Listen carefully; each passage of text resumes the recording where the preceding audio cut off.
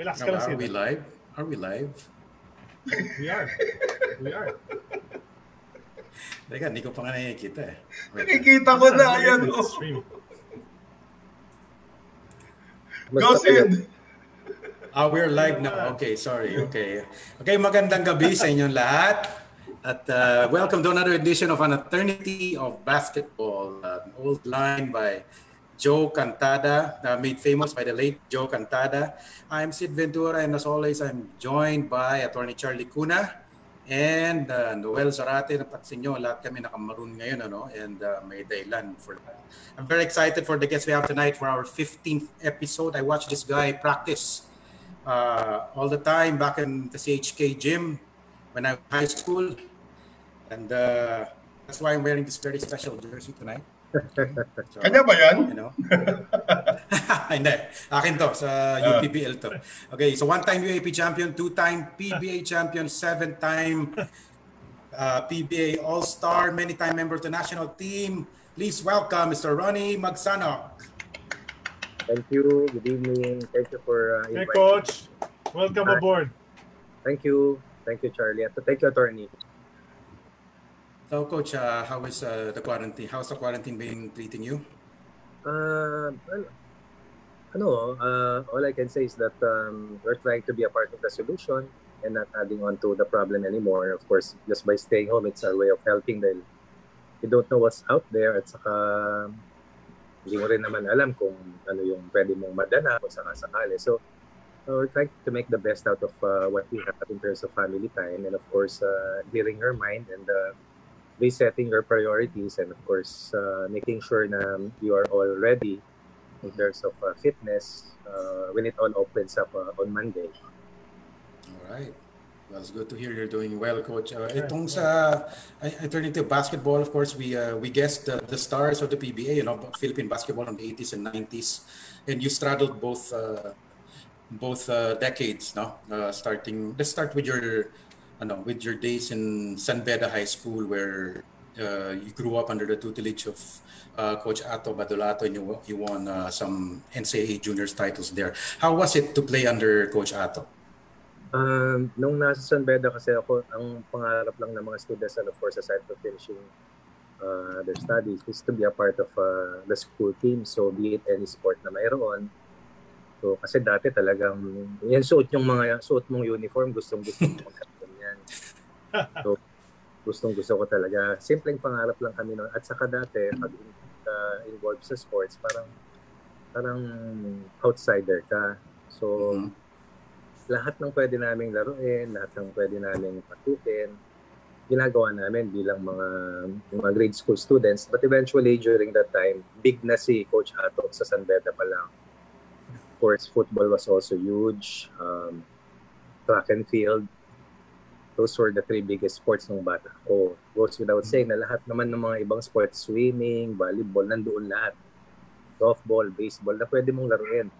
Lahat ng may bola, lahat ng ah, posibleng ah, ah, lugar na mayroon sa tabi ng campus, nilalaro namin yon. So, makita ko lang nagpa-practice yung, yung mga teams. Lahat yung gusto ko yung uniform kasi gustong gusto ko talaga yung red and white. Saka hindi Nice. ako kita ni Ato. Unang class ko kaya ako napunta sa band ko. Hindi ako pinawan ni Coach Ato kasi sobrang liit ko noon. Very small for my age when I tried out. So, few days after, may nakita ako nag, nagpapatry out. It was volleyball. Doon ako nag-try out. Sabi ko, ano ba yan? Volleyball. Kung may uniform ba yan? Meron try out ako. So, yun, doon ako nagsimula. Tapos the year after, nakuha na ako sa full team ng basketball when I was in grade 2. Yan. Grade Ah, 4. grade- Grade, grade, grade 4. four. Yes. Oh, So- grade four pala. Yeah. Kasi na grade 4 ka nag-umpisa ng take to take uh, to basketball seriously, coach. Ah, nung nakikita ko pa lang sila atoy ko, sila sila Abet Gidaben sa Bernie Fabiosa, I took basketball seriously. Kasi, Ah, so Chris pa pala kayo. oo, Prince pa ako. Pero, rin ang pagkakot nila Coach Sunny, nila Francis Arnaiz, nila Don Ramon. Kasi, pag natalo ka ng Sunday, lunes, alaskado ka. So, yan yung mga pangalan na talagang kumbaga, hindi, it's not emulating dahil napakalayo naman, kundi yung gagayahin namin yung galaw, yung Mhm. Yours, Jaworski, pass to Fernandez, Fernandez, back pass to Arnaiz. Taken away by Fabiosa, Fabiosa, Fabiosa, Fabiosa, Fabiosa. Sportscaster na kaagad. Oo nga.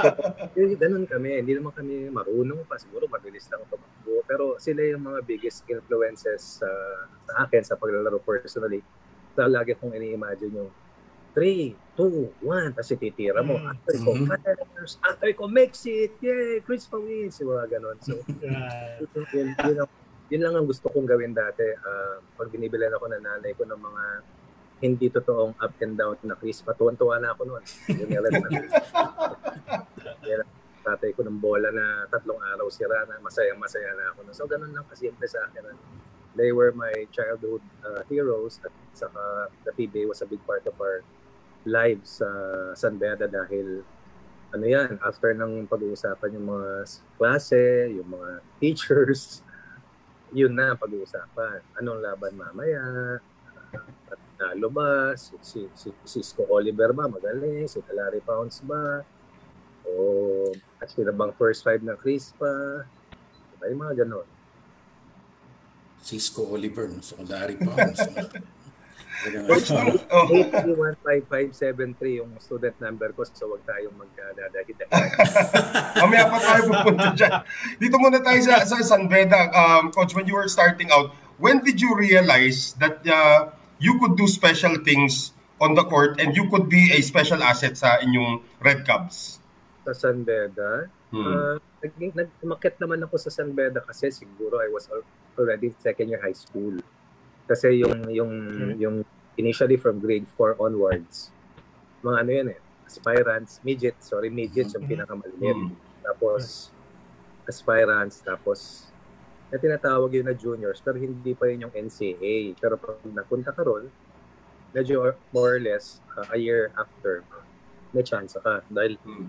nakapila ka sa mga graduating students eh, kasi yun yung program na ginawa ni Coach Ato na every time siguro yung dami ng bilang nag-graduate, yung dami ng bilang na recruitment. And at that time, yung puro homegrown naman yung ano, yung yung gulong ng recruitment ng uh, San Red Cross. When did I realize? Actually, hindi ko naman na-realize.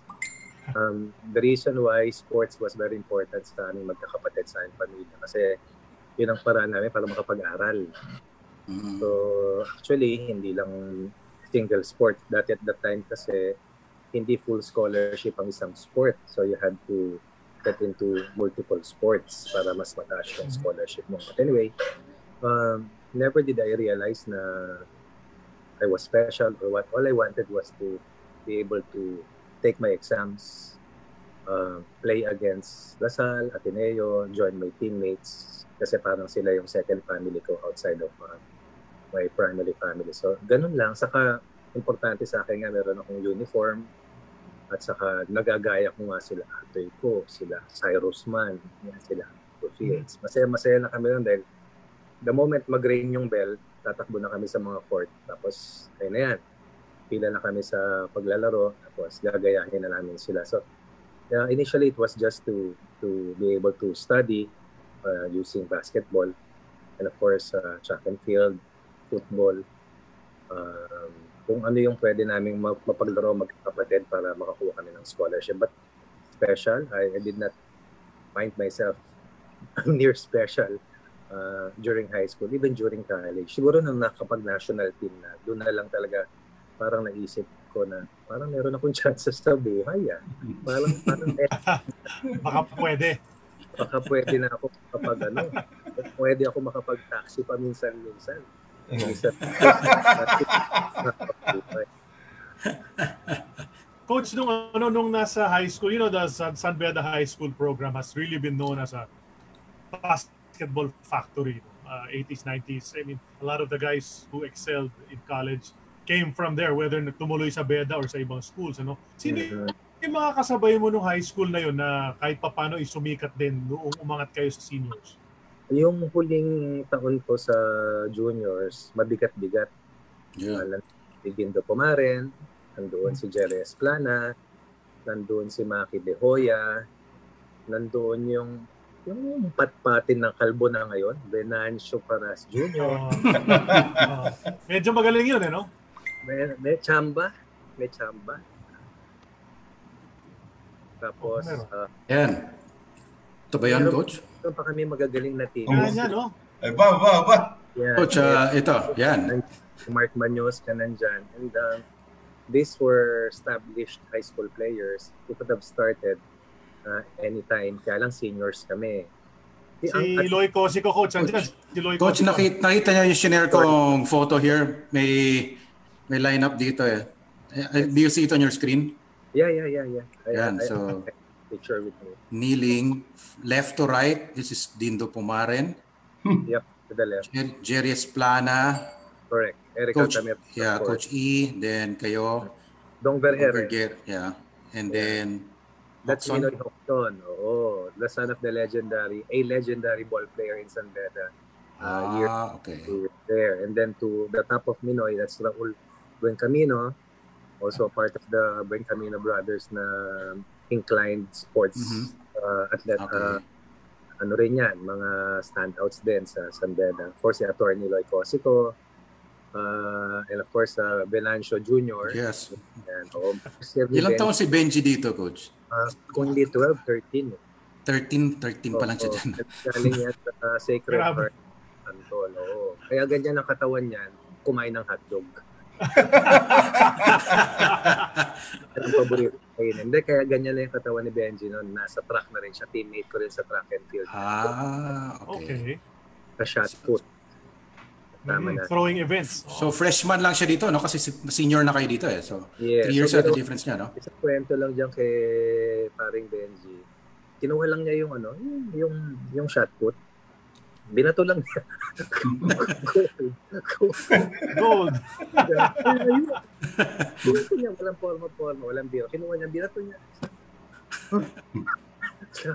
Gold. Gold medalist. Kaya lang kalbo. Anyway, to the left of Benji, that was Maki De Hoya. Maki de Hoya. And uh, Herbert Penceslao na naging Ah, teammate. rin. yeah, nag-UP rin to. Yes, nas- Tibet. si Maki, sa si Maki at si Ebet magkasama sa LA yan. Um, in this in this recent years na nag-migrate sila. And then the late uh, Momoy Rosal and uh, Almeda, Ronald Almeda, abogado rin ito. Okay. And Mark Manyosca. Yung si Mark Manyosca, yung inaakala ko talaga na mag-PBA. Kasi ang range niyan ay parang si Steph Curry, mga bata pa kami. Mm, Wala pang 3-point line. wala pang 3 points noon. oo. Tapos ng half court yan, tumitira na yan. And of course, uh, our um, most admired coach si Coach Hato. Ang hindi kumuha sa akin nung unang tryout Yes. ko. Right sa amin. Okay. So marami dito nag-PBA, no? Half of the team, ano, I guess. Uh, I, I think so. I think so. And uh, Yeah. sino ba lang makapagsabi panahon yan na Maki, Eric, Dindo, Oh, Ronnie, tatlo. apat, Paras, lima. Ben- lima. Benji. Benji. Ben, Cosico. oh, Jerry Benji. Esplana. Ayun, Jerry. Esplana. Anim, anim actually. Diba? Yung Oo. halos buong front row, oh, Pumaren, uh, Esplana, ano, parang Altamirano. factory. Oo. Diba? Magsanok, De Hoya, Paras. Oh. Right, By, right. by the way, itong photo na to, Coach Tinwit ni ng ni kung paano ni paring uh, Pong Docanes sa several months ago. Sinerch ko eh, yung kaagad ang lumabas eh. So, I don't know kung saan niya nahalungkat ito. No, sa quadrangle lang ano yan, San Beda. Dahil ngayon iba na yung campus ng San Beda. Ito yung pagkapasok mo ng parking. Diretso ka. Eh dati, automatic yan. Pag maliit ka, sa harap ka, luhod ka. Pag Hmm. mga 5-10 pataas ka, sa likod ka, diretso tindig mo, kita shorts mo. Kasi masakit na tuhod yan eh. Subukan mo lumuhod. Oo nga, oo nga. Oo nga, masakit nga. anyway, sige, I'll, uh, I'll release Ilang this ilang from the- ilang championships ang nakuha niyo sa juniors dito, coach? In this with, uh, with that team. With this team, just one. Just one, but before that, The, the, the previous team, uh, another one. So normally kasi, ta- kung hindi ka naman talagang excellent yung galing mo, you make it to the NCAA by your third year. And uh, minsan by your fourth year. Pero yung iba na talagang sobrang uhusay, second year high school pa lamang, nakukuha na. So, pero rare occasions. Pero merong mga ganon. Alam ko si si Dindo ganon eh, nakuha na. Or, second year, nasa intersecondary ka na, which is a second SEM competition. Kumbaga, tapos na yung NC, sunod yung intersecondary. Sinasama na ni Ato yung mga incoming NCAA uh, players. Tapos, binibigyan na ng tsansa. Talaga may Ito. sistema na, ano? Yung, Oo, hindi naman namin alam eh. Ang alam lang namin, may uniform kami, sasama kami sa pitch. Dagdag uniform yon Saka maganda yon dahil Allendale yun eh. Allendale, tama. Very Tama. popular brand. That's right. Time. Coach, bakit kayo hindi nagstay with the Red Lions? Bakit kayo tumawid ng Maroons? Ah, ang basic reason no O, number o Parrots pala, Parrots pala, sorry. Parrots pala noong time na yun. Sorry. jacket pa ako no. Ang basic reason talaga no, ang pangarap ko talaga dati dahil hindi naman ako, hindi ko talaga akalain makakarating ako ng malayo-layo sa basketball. Ang pangarap ko talaga ay maging doktor. Yun talaga ang, ang, ang talagang nasa nasa back of my mind. In fact, one of the main reasons why ang course ko sa UP initially was physical therapy dahil nung ako'y graduating, naglalaro ako sa Red Cubs, nagkaroon ako ng tendinitis sa tuhod when I was being treated sa Cardinal Santos. Isa sa mga pasyenteng nakatabi ko ay si si Idol Bog sa Dornado. So, habang tinitreat ako doon sa isang cubicle, naririnig ko doon sa kabila. Nakita ko siya eh. Siyempre, Chris pa ako eh, di ba? So, after ng treatment niya, kakausapin ko yung mga nagtitreat. Kakausapin ko yung mga nagtitreat sa akin. Tatanungin ko, ano ba yung course nyo? Ano ba yung ano ba yung ginawa nyo para maging ganito? Sabi nila sila yung first batch ng AT which was uh, physical therapy. Sabi nila maganda to kasi hindi ka doktor pero para kang doktor. You treat patients uh, based on the specialization na inaral mo at uh, nakaputi. Gusto ko yun, nakaputi eh. So, tapos naka-uniform sila. So, uh, more than fascination, parang nabigyan ako ng idea. Kasi wala pa namang NCEE noon, wala pa namang course na kukunin. Kahit hindi ko rin naman alam na makakapunta ako sa UP. But medicine was not a course that was available in San Beda during that time. My initial uh, wish list in terms of school, UST. UST talaga. Kasi sa sa sampu o labing dalawa ko yung magbabarkada, walo napunta sa UST. Ako rin sana, doon ako mag-aaral kasi nag-qualify naman. Kaya lang, nung ako'y lumapit para magtanong sana ng tryout, kasi kailangan ko nga yung scholarship, um, hindi ako nabigyan ng chance ang makapag-tryout because at that time, sila Pido Harencio yan, sila Benji Oh, yeah. Gutierrez. Oh, so talagang super team yan. In fact, takot kami ron sa kanila dati. So, uh, it was a huge setback during that time.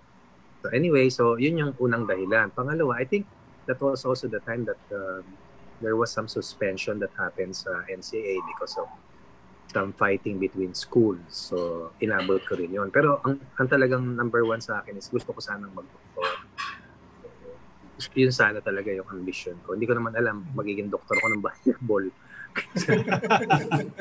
Shot So doctor. I, I really tried. I really tried in fact in my first two years before ilipat yung uh, School of Al- Allied Medical uh, Professions uh, from UP Hmm. Diliman to UP Manila. I, I, Right. I was into physical therapy in my first two years sa UP with with that uh, dream really na kakayanin ko. Eh hindi ko naman alam, ang dami palang mathematics at science noon eh. hindi ko alam eh. So eventually, nahirapan akong pagsabayin yung basketball at uh, pag-aaral. Nakakatulugan ko yung pag-aaral dahil Mhm. Bilis nung ano yan, bilis nung pace ng Math 17, sobra eh. Tell me about it. So, Wow. Hindi ako nag-17 eh. Hanggang 11 lang. 11 lang din ako eh. Kaya ako lang naipasa nung hiniwalay ko na. Ginawa akong Math 11 at Math 14. Math 14, ah. oh, may chemistry pa, may physics pa. Oo. Eh kung hindi nga sa EDSA Revolution eh, baka hindi ko napasa yung mga ibang subjects. Oo. Mabuti na ako. Ah, mas promo pala. Oh, mas, Mas promotion. Mas Oo. promo kayo nun eh. Oo, meron akong chem, chem subject noon. But then, nung natapos ko yung chem 16, may chem 31 at may math 50 52, 54. Grabe. Kaya sabi ko, 54.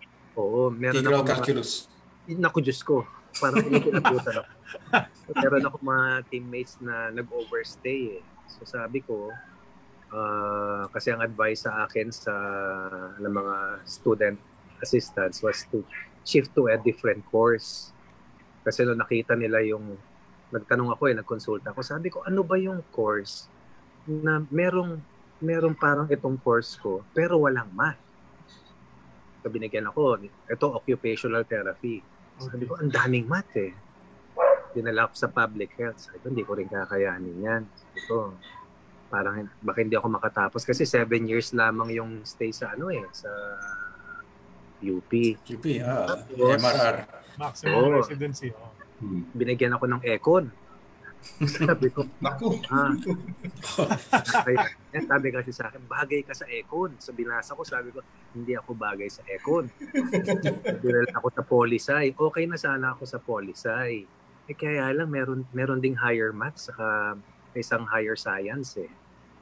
Zoo na naman yan. Sabi ko talaga, nangako lang ko sa tatay at nanay ko na tatapusin ko yung pag-aaral ko. Pero sabi ko, nagdadalawang isip na ako na sabi ko, parang hindi ko kakayanin maging doktor kung naglalaro ako. Kasi nga, 6 to 8 ang practice namin sa UP. Nakakauwi ako, past 9 na, mag-aaral ako. Nakakatulog ako yung pag-aaral. Tapos may 7 a.m. class ako ng Spanish. So nahirapan ako talaga. So, hanggang sa yun, ito na nga lang ang kunin mong course. Yan, ang math niyan, isa lang. Ang chemistry niyan, isa lang. Tapos pwede mong gawing pre-med yan kung kakayanin mo. Tapos papili ka lang ng mga general subjects. Kaya lang, mabigat ang research niyan. At saka yung, ah, tingnan mo kung kilala mo yung mga philosophers. Eh, ano naman ang malay ko sa philosophy. But I had to make a quick decision kasi nga, alam mo naman yung pila sa mga subjects sa, sa UP. Yeah, yeah. So, I ended up, I ended up uh, finishing the course eventually. Uh, eh, ano naman, awa ng Diyos, nakatulong naman hanggang sa buhay ko ngayon in terms of logical thinking dahil Mhm. initially, nung patapos na ako, hindi ko naman nakalain ma- makukuha ako sa national team. I tried applying for a job in San Beda and in UP. And I was already in line to be a teacher, uh, theology sa San Beda at logic sana sa UP. Ganun lang naman ka Hmm. ka-simple yung tingin kong kaya kong gawin noon until I was given the chance to represent the country in 1986. Yung ko nga naisip, sabi ko, paano may chance ako? At nababa ko na nga na. Kasi hindi, ang, ang paniniwala ko talaga, sila atoy ko, sila Juan Fernandez, sila Coach Sani, we're there forever. Wala naman akong alam na uh, rotation of players na na cycle eh. 'Di ba? Until nung 86 na, na nakuha kami, tapos nakalaro namin sila, doon ko na-realize na, na kaya, kaya mo palang, kaya mo pala na na tumapak sa court kasabay nila. Kasi sa akin talaga, makita ko lang sila, buo na yung taon ko, hindi yung araw. Buo. Nakakita ko sila, naka-jeep ako, nakikita ko sila sa kotse. Kahit kinabukasan, kinabukasan parang kamag-anak ko na sila pag kinakwento ko sa mga kaklase. Nakita ko si Atoy. Nakita ko naka-celeste, gumanon yung buhok mo, nakatabi ng jeep.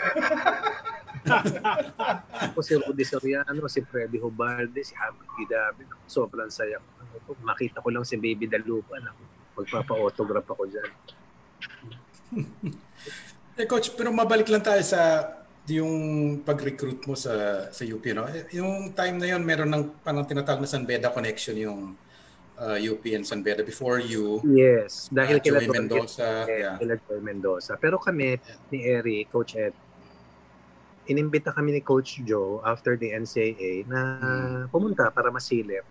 So, pumunta kami, ah nagagawa lang nung, nung gym doon sa may HK. Hmm. Yes. So, pumunta 83 kami, tama. Tinilip niya kami. Naligaw-ligaw pa nga ako. Nagpunta ako sa lumang gym dahil hindi ko talaga alam. First time ko nagpunta sa gym. Ah, sinilip niya kami. Tapos nung nakita niya kami, sabi niya, sige, kumuha kayo ng upcut. Tapos tignan natin kung ano yung mangyayari. Tapos, uh, kukontakin namin kayo. Titignan namin kung papasok ba kayo sa baas. Hindi ko naman alam kung ano dati yun by that time. Or through upcut.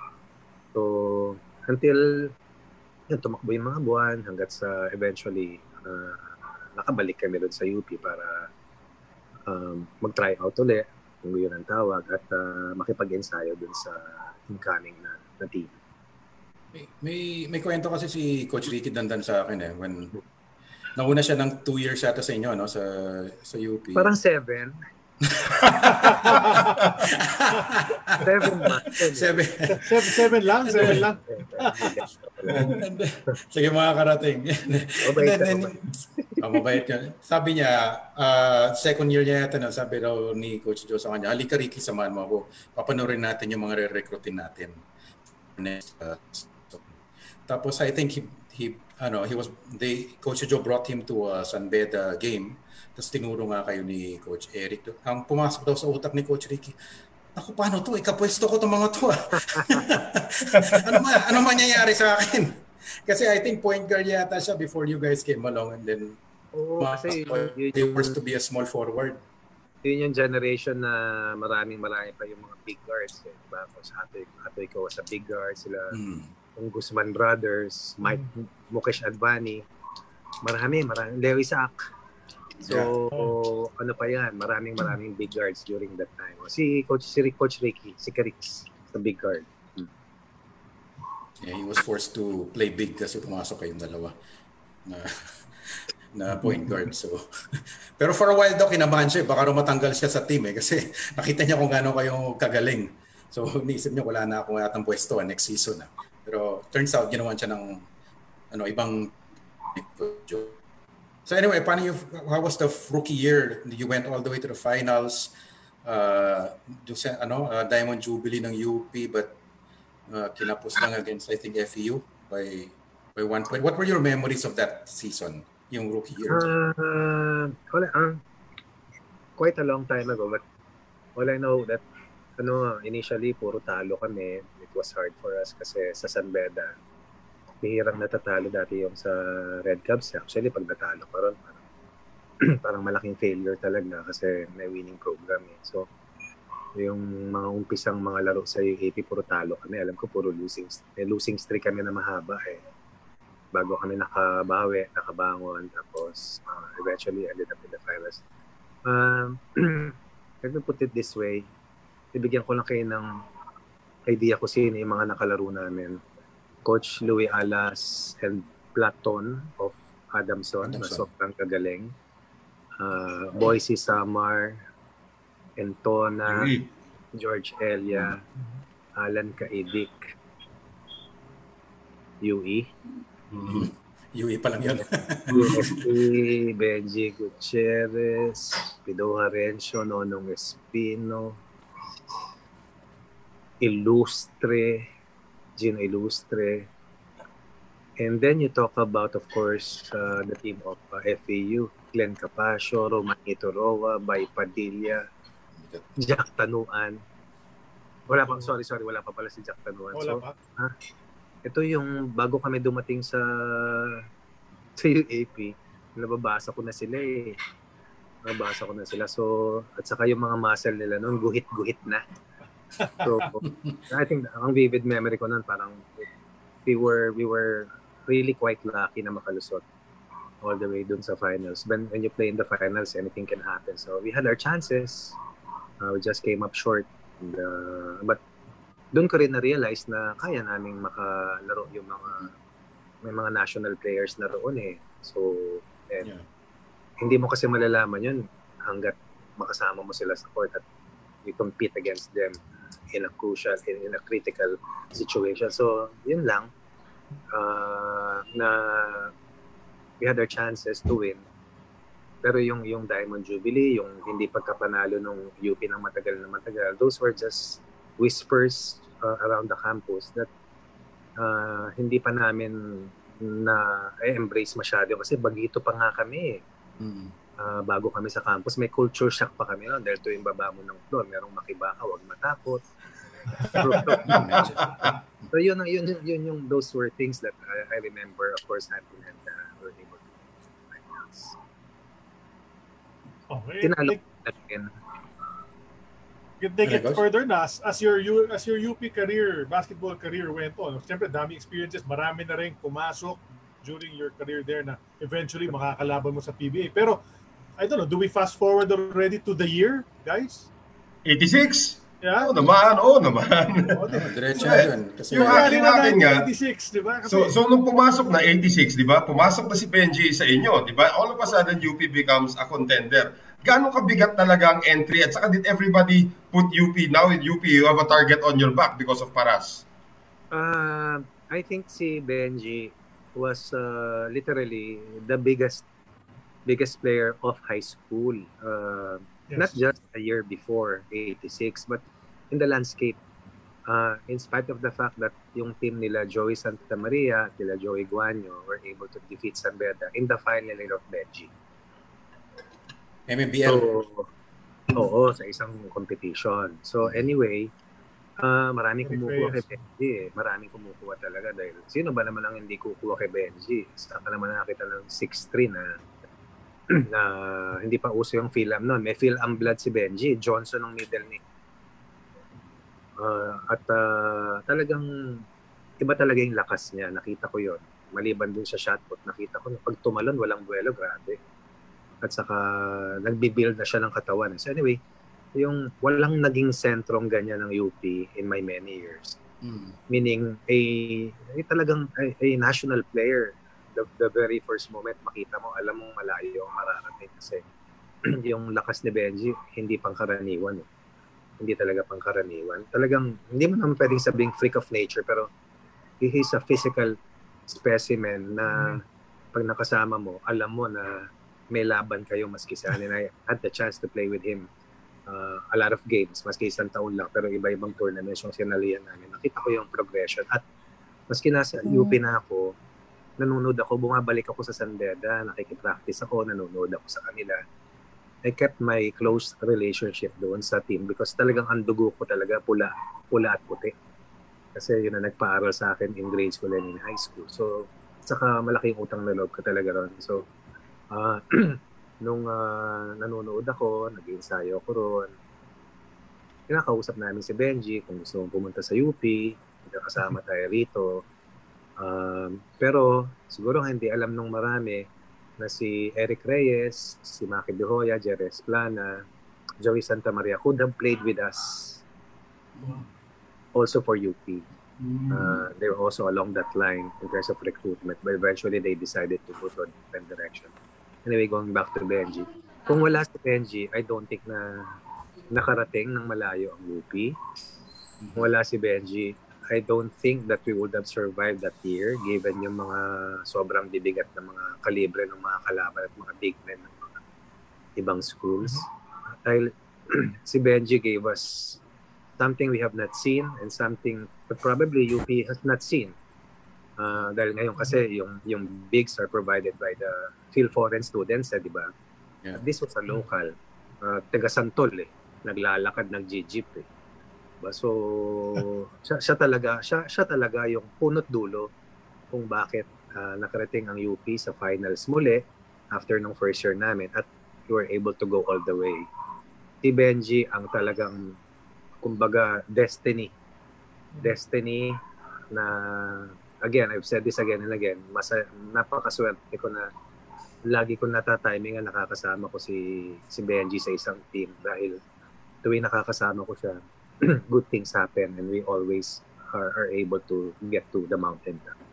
He, he was known as the Tower of Power, no? Eh, In the yan PBA. Oh, yes, Mm, ve- pero very, kumbaga very clear yung dominance niya as a big man.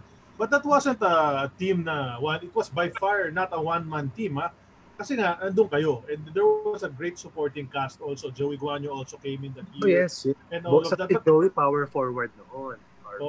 forward, ball forward. Oo. Wala pa kasing ganun dating description eh. right, right. Oo, guard forward center lang. Pag maliit ka, guard. Mhm. Pag malaki ka, center. That's right. Pag twinner ka, forward. Pag netira ka, shooter. Shooter. Pero si Benji, ano talaga, iba, one of a kind talaga. Yeah, yeah. Pero kamusta coach yung ano nyo, yung yung the, the team? What was the I mean as as uh, the season went on and you were winning games, how was the the chemistry among the team? How was the camaraderie, 'di ba? I mean you were led by coach Joe. Tapos sila Yeah. Boy Reno kasama nyo, sila Boy Reno doon, 'di ba? I mean, Yes. you know, kamusta Ano yung eh, ano? ganito kasi yan. In, nung palang 1983 na naglaro kami ni Eric at saka itong mga ibang teammates ko, um, there was uh, PABL. So, naglalaro na rin kami sa commercial teams. We did it to to finance, of course, yung aming panggasto sa pag-aaral dahil PUP naman academic scholarship lang. So, wala pa yung, yung ganitong buhos ng tulong. So, we were playing for two teams, three teams at the most pag national player ka. So, it was difficult at times kasi napakahirap talaga, siguro kayo, alam niyo yan, napakahirap talaga mag-aral sa UP, lalong-lalo na hindi ka naman katalinuhan. Sorry talaga. napakahirap mag-survive. So, nandun na ako sa time noon na talagang yung yung struggle ko was first to try to maintain a a passing line at the same time help the team. It was hard. Maski na nanalo kami noon, maski we had Benji, uh, Benji was really good but still raw. Uh, at saka syempre, yung mga iba, uh, mas malalakas pa, mas mamak na eh. Uh, but again, ano yun eh, yung mga bagay-bagay na sa loob ng isang championship, may mga laging nangyayari na papabor sa'yo na yung circumstances, yung yung draw papabor sa'yo. And I think it also helped us in terms of timing, in terms of um, in terms I won't say destiny dahil parang hindi naman fair sa ibang teams. Yung yung timing na uh, pumanig para sa UP para makarating all the way against UE na UE in the 80s. My goodness, kung sabi mo UE, USD, talagang mawiwiwi ka dahil ang gagaling ng mga players. Saka hindi, bihirang-bihirang hindi na nanalo pag nakarating sa dulo. Isama mo na dyan ang FE. Oh, yung FEU nga, gusto kong puntahan yung game na yun. Sa semifinals, that was a game that UP should not have won. But UP won. Uh, in the, balikan natin yung semifinals game in 86 against FEU, Coach Ron. I don't think it was semifinals. Oh, Uh, no, oh. sorry, correction. parang Pero, knockout. Oh, no, no, yeah, yeah, yeah. well, anyway, yung pinag-usap? Diba? Parang best two Ah. record. Yes. yeah, yeah, best two records. No, I think uh, what Noel is referring to is yung second round game against FEU and Mm. Yung so- Oh, marami yung kami steal ni yung Ramil steal ni Cruz. Ramil Ramil, Cruz. oh. Uh, Oh, si Ramil, of course. Yung, Yeah. He, he made a steal in the dying seconds. Oo, oo. And uh, I, I don't know if you remember that game. Eh, Mas maganda kung manggaling sa sa'yo kasi yes, yes, yun. yes. Ma- Marami yes. kami karong ganun, yung talo na. Yung talo na. Yes, yes. yung, yung alam mong, kasi first half at second half lang naman nun, hindi naman quarter games Tama. yun. eh. So, Mm. alam mo, kasi minsan naman, maski alam mong lamang yung kalaban, alam mong makakabalik kayo eh. Pero minsan, meron namang halos isa, dalawa lang yung lamang. Yung hirap na hirap kayo, yung parang hindi ka makaahon. So, isa, may, of course, FU was a different game because ano yun eh, yun yung pantawid namin para makarating nga doon sa malapit na sa dulo. Ah, ayun, awa ng Diyos, si Ramil biglang bumilis tumakbo. Hindi, maganda. Talaga si Ramil. Pero, yun lang, ah, yun din yung magic ni Coach John noon. I think it, it did not hold true just for that season. But, maski nung bago pa kami dumating, no 1982 team, kasi nakarating din sa finals yun. Why do I say that? Kasi, ano rin yun eh, to become a destination school, you have to at least be able to show na uh, you have a team that competes and is able to get dun sa dulo. So, uh, UP was attractive because yun nga nananalo at uh, yung recruitment pumapalo. So, uh, I think Ramil is a part of that. Alam mo naman yung mga, tama ba, Claretians? Mga taga-Claret. Mhm, Tama. Ha? Yung PIS yung Ramil. O UPIS, si Coach Ricky pala yung taga-Claret. So, anyways, Mm, that's Uh, yan. Kasi uh, nag nagugulo yung isip ko kasi the year after si Alfie Manlulo may mga pinanalong laro din sa amin the year after eh. So, I remember that game. FEU rin yun. I remember so, that. so, anyway, people will always say of course eh, mga pangalan ng mga uh, nanguna but you cannot discount the fact that sila Ebet Wenceslao, sila Ramil Cruz. Of course, si Dwayne Salvatierra. Oh, din sa Patera. Hmm. At the big, big hand. Sila Primo Rodriguez. Yan, sila Chris Si Somera. Prime. Si Optimus Prime. Sana meron akong brain cells ni Prime talaga. So, kaya mga yung mga yung, yung completed I won't say the cast but who completed completed the winning run because they worked the hardest uh, pagdating sa mga ensayo kasi talagang ang ensayo namin talagang gasgasan talaga yon talagang matira matibay at kung Kung meron ka pang iluluha, eh tiisin mo lang. Dahil tomorrow is another day. Ganun lang kasi in terms of uh, yung hardship to get through every practice day. But lahat yun, kasama nga sa magic ni Coach Joe yun. That's why he was able to build a tough team na through through it all sa hirap, sa mga talo, sa pag-aaral, eh, nanatiling yun, solid saka uh, yun nga, pinalad makarating sa dulo. Before that championship game, Coach, meron din kayong napakagandang experience. Uh, your first call up to the national team. And uh, you went to Seoul and you came home with a with a bronze medal, no? The golden bronze yeah. tinatawag doon, ano? So, yeah, what was that experience like? No one expected you to even make it to the semifinals. Yung sabi nila, wala, wala Dapat na finals yun, na charging si Kaitik eh. Hindi. Eh, kung titignan mo talaga, hindi naman yan yung team in 86. Remember that the initial team was the Northern Consolidated yes. Team. Correct. Team. And that team was supposed to be, was supposed to stay there for good. Hmm. Yan ang pagkakaintindi ko. It was, kumbaga hanggang tumanda na sila, dun sila sa national mm. team together. Yun ang alam ko kong program nung, nung team na yon. So, uh, until, uh, of course, the EDSA revolution happened and uh, they had to reassemble the team and some yeah. of the players decided not to come back. Kaya lang kami nagkaroon ng chance to try out. We made it to that by tryout. Puno yes. yung result memorial niyan eh, nung pinatawag ni Coach Joe yung mga tryouts.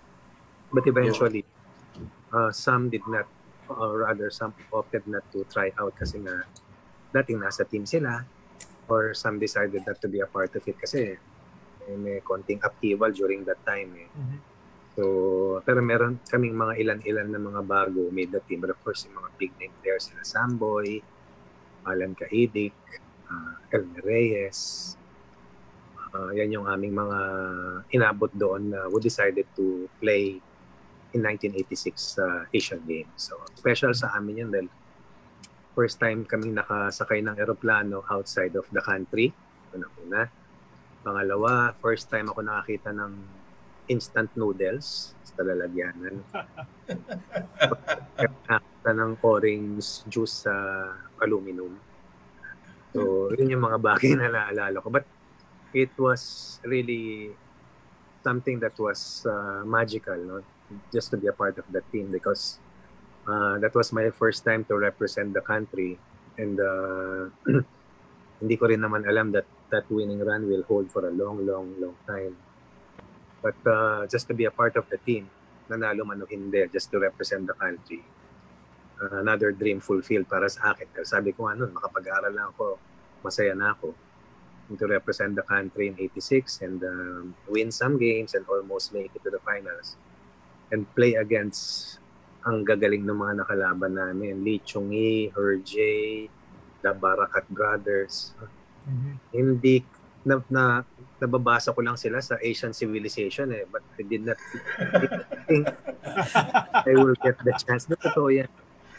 Alam mo, alam mo, kami ang pinakamasipag makipagpalit ng mga yung mga pin ng Pilipinas tapos pupunta ka sa mga ibang mga dormitory. Makikipagpalit ako talaga dahil hindi ko naman alam kung mauulit pa. So, sinatsaga ko yun. Mag-aantay ako ng maaga doon sa cafeteria. Pag may kumain na, titignan ko yung flag. Pupunta ako na makikipagpalit ako. Anyway, pati yung Japan, they had a 7 7 4 7 6 yeah. play. Uh. Oh, Okayama kasi Okayama mm. na ano yun, national treasure ng Japan yun. So sa akin, just to be able to compete against this uh, ta, para sa akin, yung sobrang high caliber na yon no? Uh, along that line. Hindi ko na makakalimutan yung what more na makasama ko sila Jolas, sila Alan, sila Samboy sa isang tirahan kasi sa sa akin noon ano sila talaga big names na sila noon sa amateur basketball sa kanila yan eh. Decorated na sila eh. And they they took us under their wing and they helped us be able to help them uh, help the country get that uh, bronze medal which was unbelievable. Unbelievable really hanggang ngayon nililinis-linis ko yung medalya kasi nakita ko kung gaano kahirap. Nakita ko kung gaano kabigat yung programa ginagawa ng gilas para makarating makapasok. So dati kasi nakatabi lang. Pero ngayon, maya maya, nililinis ko yan. Nililinis, pag nanonood ako ng mga laro ng national team, nililinis ko yan. Dahil hindi ko akalain na bawat bawat uh, laban nun was going to be extra special for us. Even during the time that South Korea beat us. Kasi, mm-hmm. oh nga pala, I'd just like to state this as a matter of fact. I never had the chance to beat a team from Korea except once in the PABL. Uh, anyway, just to be in the same in the same floor as si Herjay, si Lee Chung-hee was magical. But uh, pambihira talaga yan. Makita mo lang yung, yung teams from China, Korea, parading. Talagang kikilabutan ka eh. Kasi ang usapan lang, tignan mo masama, tignan mo masama. Tignan mo masama, takutin mo, takutin mo. nila eh. Saka hindi mo makakalimutan yun dahil doon lang kami nagsusuot ng white pants sa parada. Actually, marami kang picture na pinakita sa akin dati doon eh. Isang buong album yun eh. Ano yan? Photo sa... yan. Binili na ng kanto. Yung gano'n. Oo. Oo, kasi wala naman kami perang pambili dito. So doon, uh, si Butch Reyes yung team manager namin eh. I think I think uh, they were the owners of FEU before the Montinola family took over. So, meron kaming bonus noon pag nananalo. So, bumibili kami ng mga gamit. Bibili kami ng camera, bumibili kami ng sapatos doon. Kaya bumibili kami ng noodles. Doon lang ako. Kasi nagulat, kasi it, it was almost winter. We were playing, I believe we played yeah, yeah. October. Something. October. Yeah, just October. Uh, We were there, I think, a week before. So, pagpasok mo ng village, merong parang 7-Eleven. First time ako nakit. Yung mga athletes, umuusok. Umuusok. Siyempre, engot, engot kami. Diba? Engot, engot kami. Wow! Umuusok! ano yun? Tapos yan, kumakain siya. Tapos namin, bubunutan yung nasa lata, bubuksan. Sabi ko, Lata. Lata, oh. engot-engot kami namin. Nakita namin si Sambo sa si Alan. Bumibili. Siyempre, sari na silang mag-travel. Eh. Bumibili. Tinanong na, ano yan? Ah, hindi niyo alam to? Ano to? Uh, instant noodles saka yung orange juice na may pulp bits. Uh-uh. So, pila, pila kami. Eh, hindi namin mabilang yung pera ng South Korea kasi won eh, di ba? So, hindi naman first time namin magbiyahe talaga. Eh. So, hindi na makakalimutan. Eh, pero sila, at saka ano pala, ito isang kwento lang. Sa loob ng isang village, Mapa Olympic Village, Asian Games Village, Southeast Asian Games Village, may mga may mga products yan eh. Since masipag nga akong pumila doon makipagpalit ng mga ng mga pins, nakita ko, kasama namin si Jojo Villapando eh, reserve siya noon. Nagtataka ko, Ala ko maaga na ako. Nagtataka ko si Jojo, ba't napakaagang gumising? Pagbangon ko, wala na. Yung pala, ang ginagawa ni Jojo, inaabangan yung mga giveaways. Kasi ilan lang eh. Halimbawa, limang jacket, limang windbreaker. Hanggat sa nakita ko, sabi ko, Jo, anong ginagawa mo dyan? Ay, Mika, mila ka rito. Give so, nagtataka sila, kala nila nagja-jogging kami. Nagja-jogging kami after namin pumila. So, pipila kami. Pipila kami para meron kaming windbreaker. Minsan, suswertihin ka ng mga sapatos until kumalat na sa team. Takanta si Coach Jong, aga namin bumabangon. Kala niya, jogging kami, kakain na kami. Ang dami namin nakuha ang giveaways noon na ginawa namin pasalubong. hindi na bibili. Pero yun yun yung mga at saka ano at saka gustong gusto namin na una dun sa kainan kasi syempre sa UP di naman ako nakakakain sa kasa sa area lang ako. Doon grabe ang pagkain doon talaga. Grabe talaga. first time first time namin nakaranas nung kung ano yung gusto mo, kainin mo.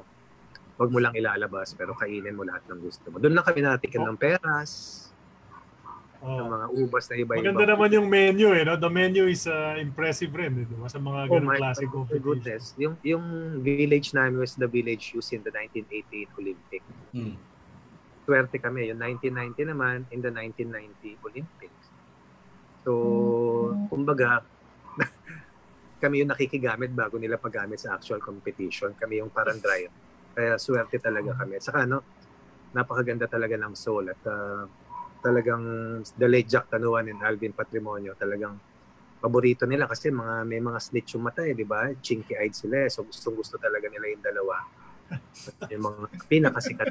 Uh, ito to yan. Inaakit yung bus namin. Pinabababa si Jack sa kasi Cap Alvin dati sa sobrang kat 15 and 15 and yung mga numbers yata nila. So yun ang sigaw ng mga Oh, 15 at ano pa si Alvin? 4 yata si Alvin nun. Hindi ko alam kung 4 o 8 eh. Sa, Kasi Mm. si Cap minsan nag-8. Minsan Hindi, 8 si Alan nun eh. 8 si Alan nun eh. Kasi Four si maski Alvin. ano, maski ano number niya, ang galing niya eh. Mm. Yeah, yeah, yeah. Doon ko nakita, doon ko nakita yung Alvin Patrimonio na alam ko, ang lalaki ng mga, ang liliit na, ang liliit namin eh. Ah, yung, kasi yung sentro natin, forward lang sa kanila eh. Pero doon ko nakita na sabi ko may laban ng mga Pilipino basta magkaroon lang ng chance to represent the country ng paulit-ulit. May laban talaga. Dapat Pero, nga, gold oh. medal match kayo nun eh. Pero Oo nga. Wala eh. Hindi naman charging si Alan nun eh. Ando ba, were you on the floor, coach, nung nangyari yung tawagan na yun? ako yung pumasa. yeah, siya yung pumasok kay Yeah, siya yung pumasok. Alan. Kasi Oo. dalawa lang yan eh. Kung hindi kay Samboy, kay Alan. Pagdating sa transition, gano'n lang naman yan. Sabi ni Alan, pag hiningi ko, bigay mo. Sabi ni Samboy, pag hiningi ko na maaga, bigay mo. So, yun lang naman ang ginawa ko. Masunurin ako eh.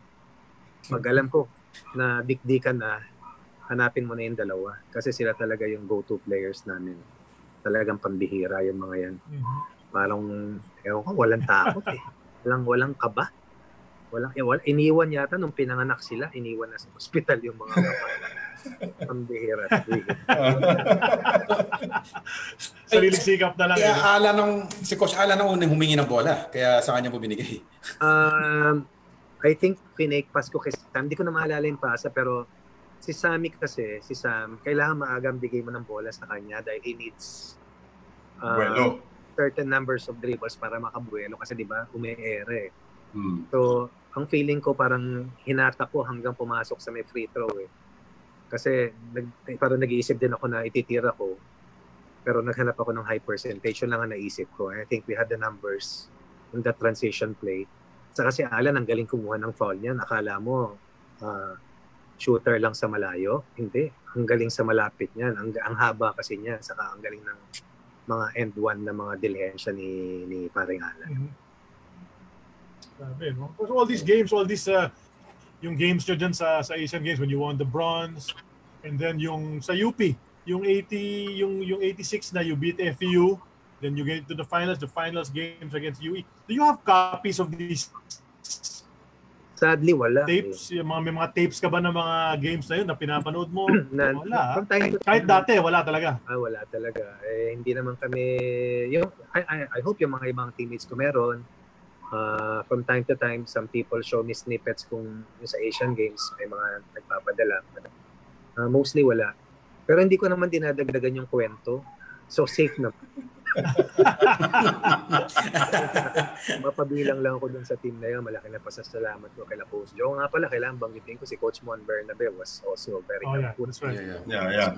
that time. Naalala ko lang kasi kasi tatlo sila noon. Si Coach Joe, Coach Mon Bernabe, si Butch Reyes, sila yung aming management team noon sa sa unang national team na pinaglaruan ko which uh, saw action outside the.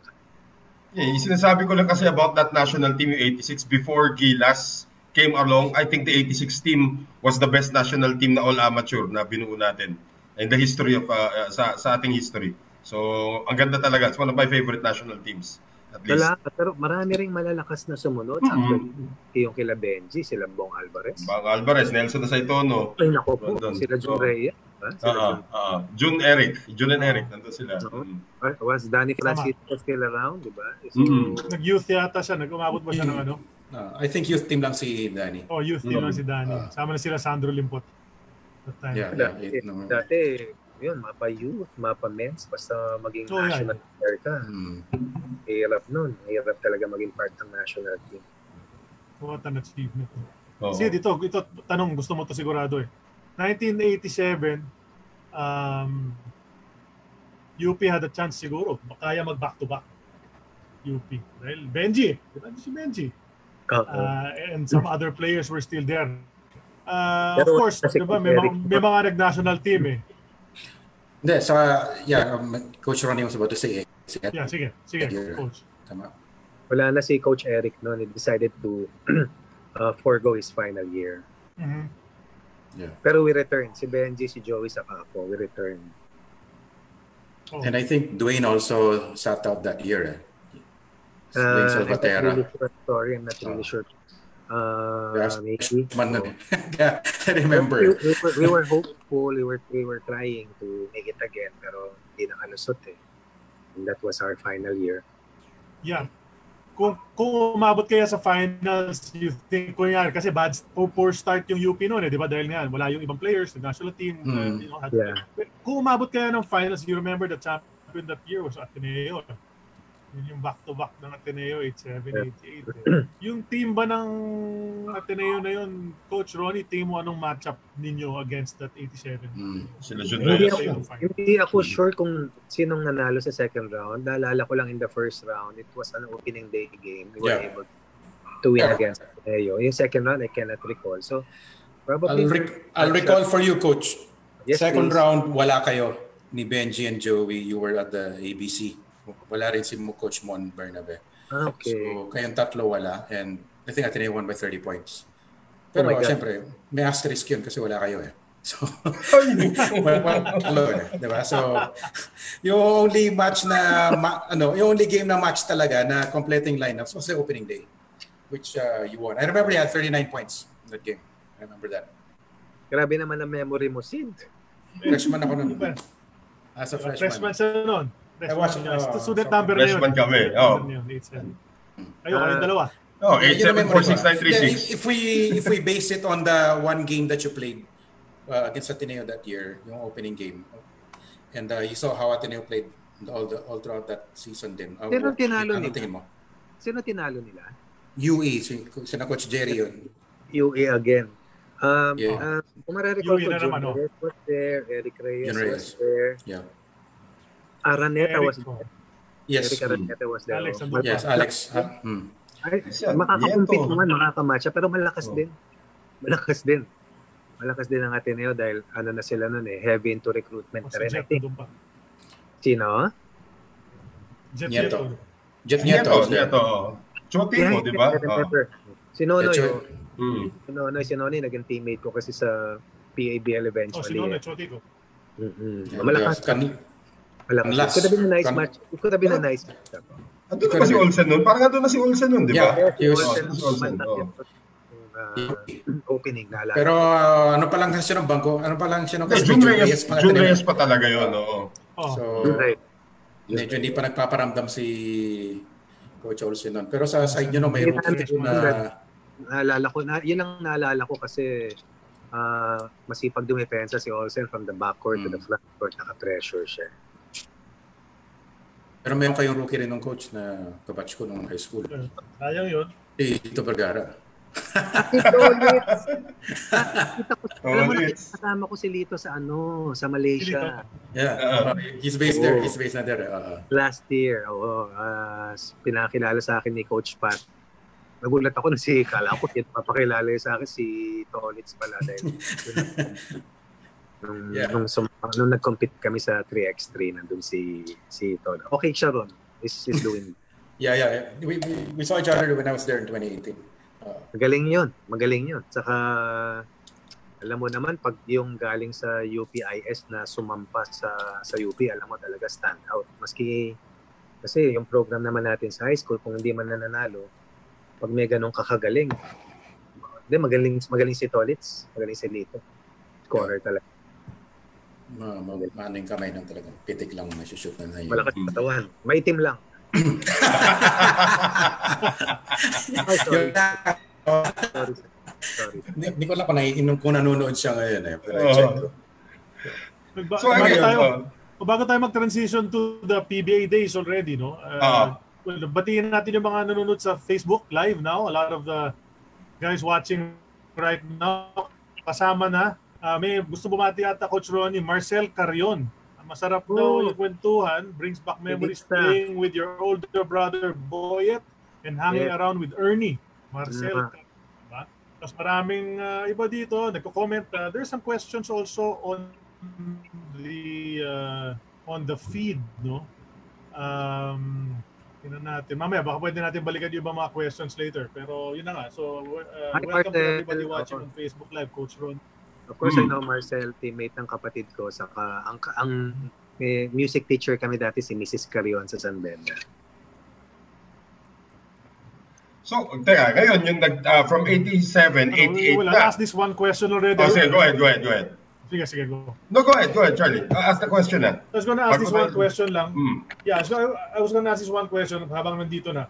How did you develop, and we're moving ahead a bit, dear coach, ah, you, how did you develop your role as an analyst, not just in basketball? Bakit magaling ka rin sa football, Nag-player siya eh. baseball? Dahil nga nag-player ka, di ba? Players Kasi- siya eh. Pag sa akin, Rattling yung- run. Rattling run.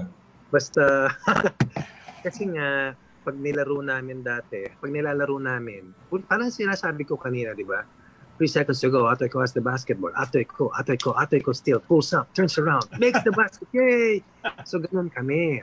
Ah, Dati, Isidro Del Prado, Isidro Del Prado, Isidro Del Prado. In the last turn, Isidro Del Prado still, in just staying close. Isidro Del Prado, 81 Isidro yun, Del Prado. 81. So, ganun, ganun kami yun yung, kasi, Yeah. Isidro Del Prado with another rattling run. a rattling run in the Favorite line in the last turn, Isidro Del Prado, Isidro Del Prado. So, kung ano yung naririnig ko sa TV, ginagaya ko.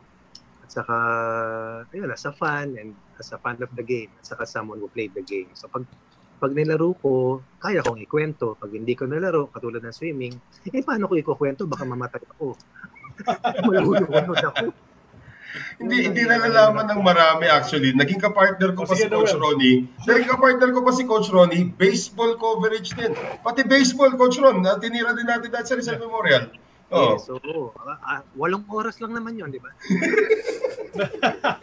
apat na laro, syempre, o tatlong laro. track and field tayo, coach. Oo. Napapaborito ko yan. Kasi nung nagtapos ako sa San Beda, ang sports na pinayagan sa akin ay track and field at basketball. Hindi na ako pinag-football. Hmm. Sabi sa akin, 50% scholarship from track and field, 50% sa basketball. Kasi kung hindi nila gagawin yan, kukuha pa ako ng isang sport kasi wala nga kaming pambayad eh. So magko-football ako. Ang kuya ko na panganay ay softball, basketball. Yun si Boyet, yung classmate ni Marcel Carion. Yung kuya ko namang isa, basketball, football ang sport niya. So, lahat kami multi-sports. So, kung ano lang yung payagan ni Coach Ato, kasi siya yung at- athletic director nun, based siguro sa tingin niyang kakayahan namin na may balance sa pag-aaral namin, yun yung ilaalaw niya. Pero sa akin, kung ano yung kailangan ko laruin, um, sungka, ayaw ko yan, basta mas maging scholar ako, laban ako dyan. So, yun, yun lang. Siguro sa pagiging analyst, ano lang yun, ah, siguro dahil sa gusto ko rin magkwento nung laro based sa paano ko nilaro dati. At saka talagang fan ako and I really want to to help generate yung popularity for the sports that I played and I followed na hanggang ngayon sinusundan ko. Kaya basta merong Southeast Asian Games o Asian Games, gusto ko yan. Gusto ko talaga. Gusto kong hanggat maaari din. Gusto ko rin nanonood. Mhm. I'm a very big fa- fan of sports in general talaga. Guys, can I just ask one question kay Coach before we move into the PBA thing? Yeah, sure. Coach, yung PB, PABL, kasi maganda rin yung career mo sa PABL. Eh. You played for ICO, played for Philips, di ba? Philips. Coach Puto na loob ko kay Alvin yan, kaya ako nasama sa ICO. Sinama niya ako ron. Mhm. Yeah, para how did that help you, you know, in your in your development as a player for the PBA, getting you ready for the national team? Okay, PABL. siguro, siguro attorney ang pinakamahirap kasi at that time was, uh, yun nga ulitin ko, uh, the first, the pioneers were big names, larger than life. But you also have to understand that merong merong isang generation sa PBL, PABL, na hindi sila nakarating sa PBA. Marami yon. And these are national players who did not get the chance to make it to the PBA or when they made it to the PBA, tumanda na sila. Kasi nga, katulad ko, hindi ko rin naman alam na, na magkakaroon ng rotate, ng, ng cycle. It just so happened that I was a part of the group na nasa second cycle kami. PBA opened in 75. For example, they were 25 years old or 23. So, in 1986 or 1988, 86, kasi nung 86 sa national team, bago kami pumunta sa Seoul, nag-guest team kami sa PBA. Mm. Mhm. Yes. Doon ko nga na-realize na may tsansa. Kumbaga na, na, na, na fuel yung hindi French curiosity, yung awareness ko na na nababantayan ko si ganito, nakashoot ako kay ganito. Kalaban namin may may import, si Third Kill, si Dexter Shouse, nakalaro namin yan eh. So, going back to your question, yung PABL, so we had the chance as early as my first year in college, naisama na ako ni Coach Joe sa isang team ni Coach ni Boss Buddy Encarnado, yung ESQ. Yes, That was the inception of the PABL. That was the very first competition of PABL. And the the best team there was Lager Light, yung team ni Boss Danding.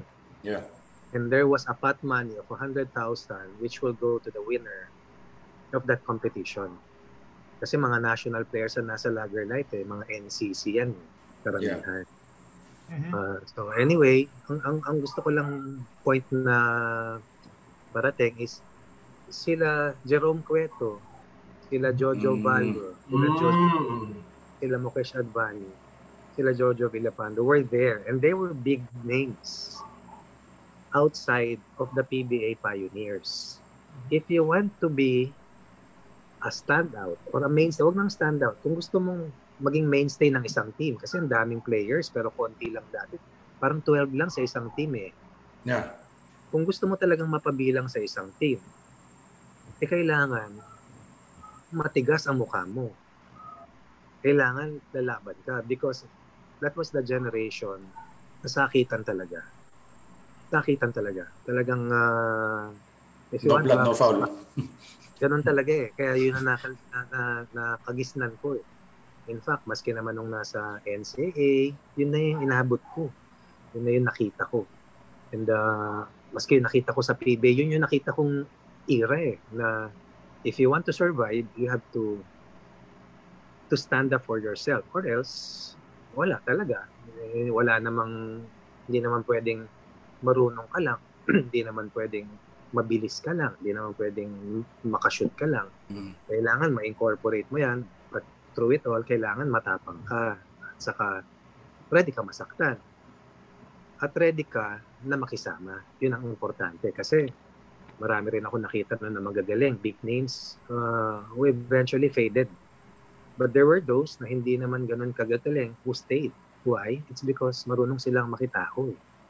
So those were things that I learned in my early years in the ESCO kasi bangko naman ako noon eh.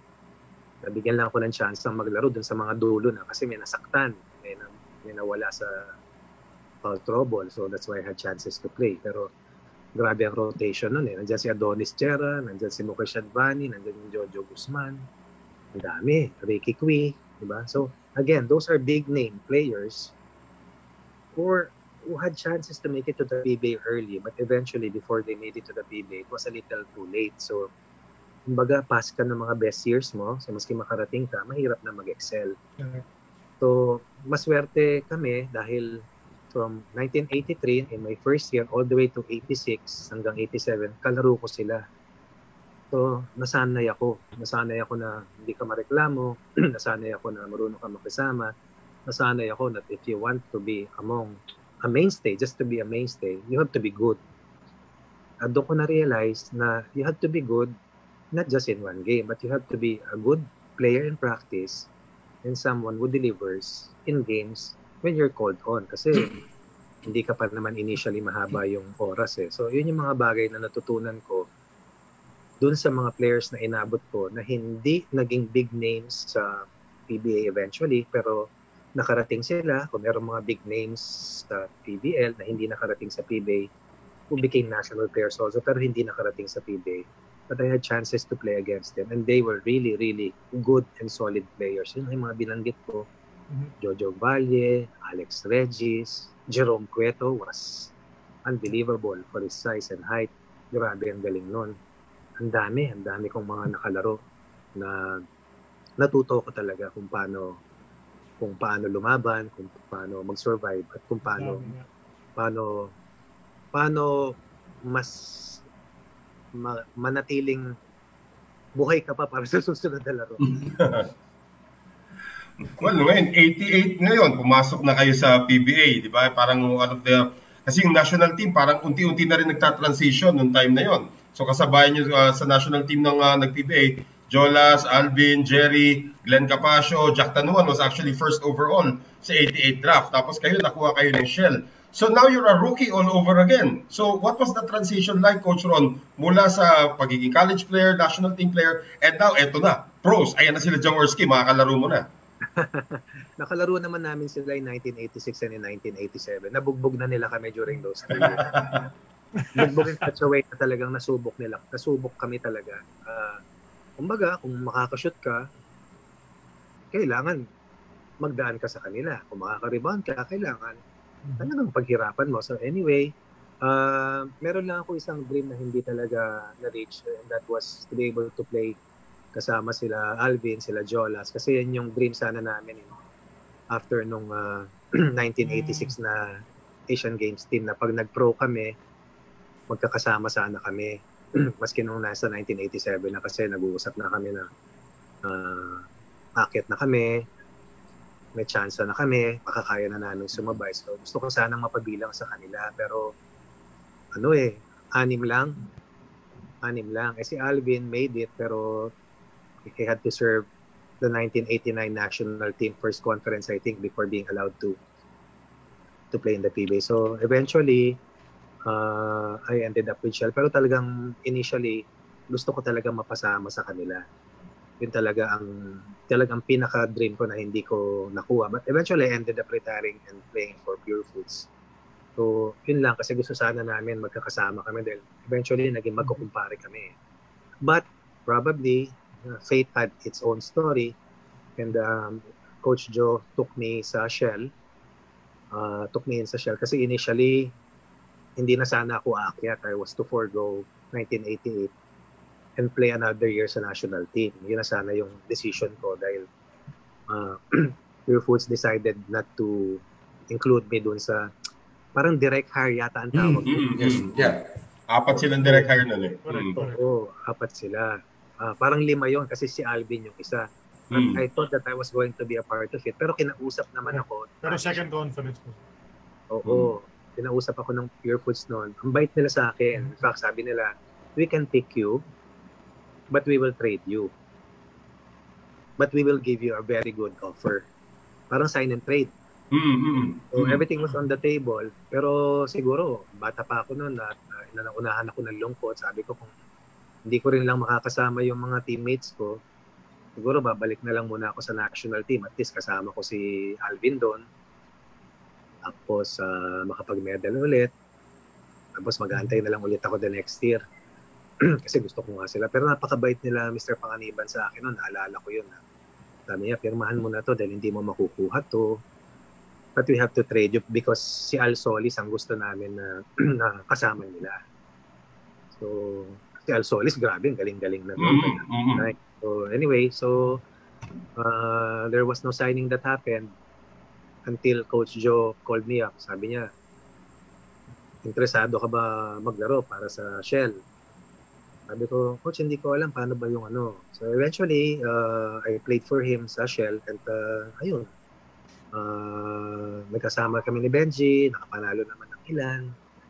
Uh, eventually, nakasama ko rin si Alvin para sa Pure Foods nung in my twilight years.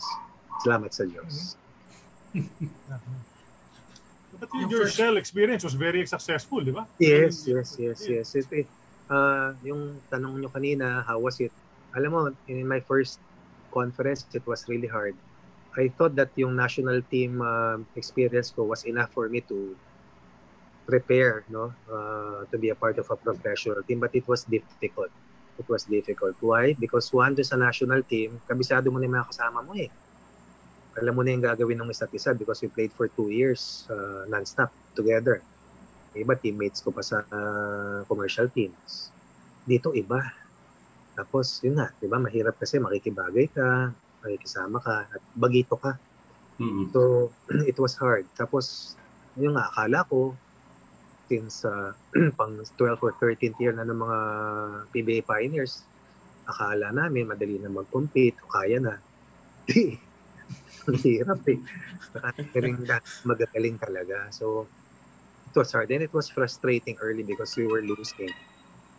Uh, but, uh, yun nga, things eventually settled and uh, uh, parang nung nasa UP rin, una puro talo, una puro frustrations, injuries. Sometimes you take a look at your decisions. But siguro when you work hard and you pray harder, uh, good things are bound to happen until eventually, yan, awa ng Diyos, si Benji na naman ay uh, hindi pa siya kalbo noon. Eventually, ended up going to Shell the next year. At uh, a year after, we were able to win a championship for siya. So once again, yun na naman, yung, yung pagpasok na naman ni Benji. And again, I would reiterate na mapalad ako dahil yung timing ko, na parang ganun ang tingin ko nang nakasama ko sila Alvin, sila Alan, sila Sam. Sabi ko, swerte ko naman nakasama ko itong mga to. Pwedeng pwede man ako nag-national team years before. Dito ako napasabay. Ito yung nananalo. So, yung swerte ko, natututo ako sa kanila. Ganun naman kay Benji. Pwede mang hindi siya napunta sa Shell. Pero sa Shell na naman siya napunta. Once again, I was able to ride the, the, the bus of the Benji para sa Enigma. The winning Enigma. So, Enigma. So, like iniisip yun, yung, yung bakit laging may connection, bakit laging may Yeah. intersection, intersection. So, like kung ina, lagi, lagi, naniniwala ako that there's always that perfect timing and uh, yung sense of uh, connectedness, yung na may ganoon na kasi it's a team sport eh, at saka di, di ba, yung iba hindi nananalo, hindi nagiging part ng winning team and probably it's because of um, something like that. Yun lang naman ay sa aking pananaw. Nung ano, unang championship nyo, coach, was actually 1990 Open Conference. Kalaban nyo doon, Añejo. The, a few, oh, sa 89 eh, sa San Miguel Oh. eh. yes, yes. Ta- Tapos yung ano, yung medyo controversial, of course, we wrote about it sa E ESPN5.com just a few days ago. To, May 15 was the 30th anniversary ng una yung Wow. championship Ah, Sa- ako. sa PBA. Oo. 30th 30th. anniversary. 30, 30. Oo. 30th anniversary na yon. Yung ah, yung walkout ng Añejo na ginawa na, na nabigay sa inyo championship. Take us back to that series, uh, coach. Kasi alam ko, naalala ko, binalibag, may bumalibag sa inyong player noon eh. Hindi ko maalala kung si, That's right. si Leo Isaac ba yun or si ano, yung, uh, or Rudy Dismayto yung ano. Oh. ganito lang, ganito lang. Si Rudy, ang- oo. Ganito lang ang ano ko. Parang nung parang nung bago kami sa UAAP, kung gusto mong makarating sa sa tuktok, kailangan pagdaanan mo. Hindi ko naman naalalang may bumalibag. Siguro masama ang landing. Siguro may may matinding contact. Yun lang ang naalala ko eh. Eh, Kasi sabi ko nga, 'di ba, ang daming away noon, off court, on court, so parte 'yun eh. Uh, and if you were to win a championship, lalong-lalo na against a uh, crowd favorite, kailangan talaga paghirapan mo. Physicality was a part of it. Uh, anytime you play against, makikita mo naman eh, pag nagra-round robin pa lang, pag nakita mo yung mga baraso nila parang inukit, alam mo ma, alam mo ulamin mo yun ng araw na yun eh. So, uh, ano lang, talaga kagat labi ka lang, saka titignan mo lang yung score, lamang ba kayo, pwede ka ba magalit, maski magalit ka, ano ba magagawa mo, hindi naman sila, hindi, man, hindi naman kanila mararamdaman. so, so ano lang ba ang pwede mong gawin, which is to go to the next play or try to make a free throw, try to score off them, try to defend. So, yun lang, dahil kasi kung sa lakas sa lakas, I think uh, ang backbone namin noon ay si Bobby Parks. Kung sa Yeah. local naman, syempre si Benji na naman. But of course, we also had a nice support crew, a nice crew na matapang dahil di ka lang pwedeng hindi matapang. Kasi tatamaan ka ng kung ano-ano at saka kailangan bumangon. Hindi, ganun lang naman eh. Wala namang, wala namang, hindi, wala namang sadya eh. Diba? It's part of the game. Lulusot ka, alam nga naman madali, di ba? Titira ka, alam nga namang free lane. So, alam mo na, ba, pumasok ka ron. Alam mo Hmm. na na meron. Meron. Pero part of the game. Kanya-kanyang enforcer kasi naalala ko Rudy Distrito para sa Añejo Arnie Tuadles naman ang mga taga-Bawi para sa sa Shell noon. Si Kuya Dante Gonzalgo was Oh, isa pa yun. Oo, ang magandang kwento yan, maisingit ko lang, 1990 nandun si Kuya Dante. Pauwi na kami, nag-silver medal na, nasa Hong Kong kami sa stopover na binigay sa amin ni yung team manager na si Goteng po. So, magtutulog na kami ni Benji. Kasi may game ang Shell the next day. So kumain kami sa isang fast food uh, chain. Tapos balik kami sa kwarto. Sabi ko, Gi, tulog na tayo. Mapapalaban tayo bukas. May laro tayo. Pagkagaling sa airport, tihis lang, laro na tayo. So, ga kami, may tumatawag na si Kuya Dante. Sabi niya, Hoy, kayong dalawa. Kung silabas kayo ng kwarto, kung hindi, pag tititirahin namin kayo pag uwi, lumabas kami ng kwarto. Ba- ba- bakit kayo pinapalabas?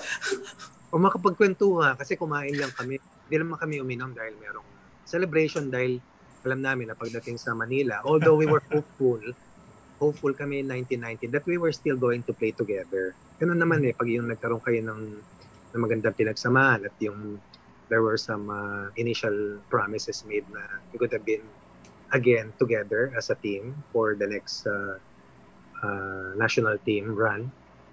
so, yun, usap-usap, kwentuhan. Uh, sabi, uy, pag ano ah, huwag tayo magkalawin ako si Pae, yung mga gano'n, yung mga gano'n yung biruan. so, wala rin eh. Ganun pa rin. Magkaiba na yung uniforme, iba na eh, no? Pero hindi na nawala yung band. Yun lang talaga pag nagkasama kayo. And I think even the the national players na will attest to the fact na pag nagkasama mo na, parang brothers for life na yan eh. Iba yung pinagsama. Kaya maski yun, yung mga naging magkakasama sa national team na sandali lang. Kasi parang one month lang yata kami nag-prepare. Mm-hmm. Eh. Yeah. Uh, naging magkukumpare yan. Oo, naging magkukumpare. And we had nicknames na uh, doon sa mabilisan namin pagsasama. uh, saka hindi ko rin makalimutan kasi yung na first professional team Saka hindi ko rin alam talaga na mapapasama ako dun sa team na yun. Yun naman ang malaking pasasalamat yeah. ko kay Coach Sunny talaga. Yan yung, yung next na tanong ko, Coach. Eh. Ito nga yung first all-PBA national team. And you were named to it uh, with the, all of these, with some of these legends na Fernandez, di ba? There. Roommate and, uh, ko sila. Roommate uh, ko sila. Magkaka-roommate uh, Kasi parang yeah. door yan eh. Pero yun, talaga ano, uh, kikilabutan ka eh. You, you always uh, try to put perspective dun sa mga bagay na nangyayari. Pero minsan hindi mo mawala na I was a big fan of theirs bago ako makaapak ng high school na naglalaro. Tapos ngayon, makakasama ko. Di ba? Dati nakalaban eh. Nakalaban lang. Hmm. Initially was hard because fun ka eh. Ngayon, maging kasama mo grabe, makas- makatabi ko nga lang, tuwan-tuwa na ako, makasama ko sa eroplano, tuwan-tuwa na ako, tinitignan ko yung tinitignan ko paano dumikwatro, tinitignan ko paano magpasakyo. Hindi, totoo yun. Sinusundan namin, sinusundan namin ni Benji.